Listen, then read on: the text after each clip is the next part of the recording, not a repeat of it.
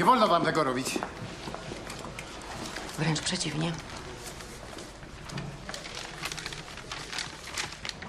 Gdzie jest Piotr Grodecki? Wczoraj stracił brata. Moglibyście to uszanować.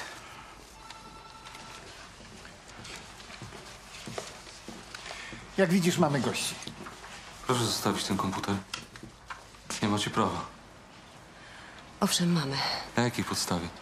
Czynności w sprawie. Istnieje podejrzenie, że ukrywa pan dowody. W historii widzę, że powinien być zewnętrzny dysk twardy. Gdzie on jest? W dupie. Mam poprosić, żeby panowie tam zajrzeli? Panowie, proszę przeszukać torbę pana Grodeckiego. Ej, zostaw go człowieku, co robisz? Zamierzasz kurwa coś tam zrobić, czy tak stać? Czy mogę z nim zamienić dwa słowa? Jeżeli przemówi mu pan do rozsądku, proszę bardzo. Chodź, Dobra, zostaw. kurwa, Zostaw. chodź.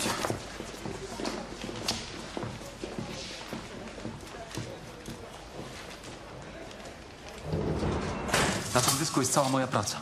Kto jest twoim informatorem? Ale co ci mam powiedzieć? Nazwisko czy numer dowodu? Powiedz mi, zanim oni dostaną wszystko. Nie wiem. Jak to kurwa nie wiesz?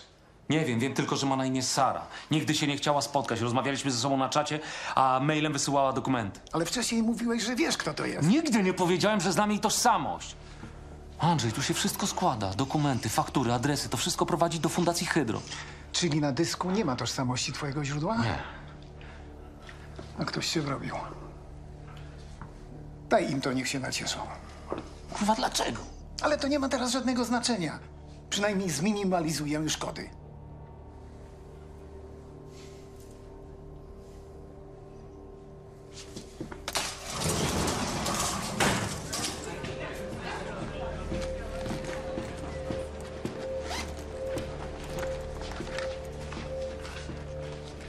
Proszę.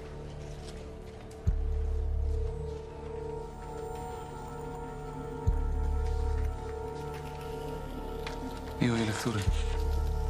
Przepraszam.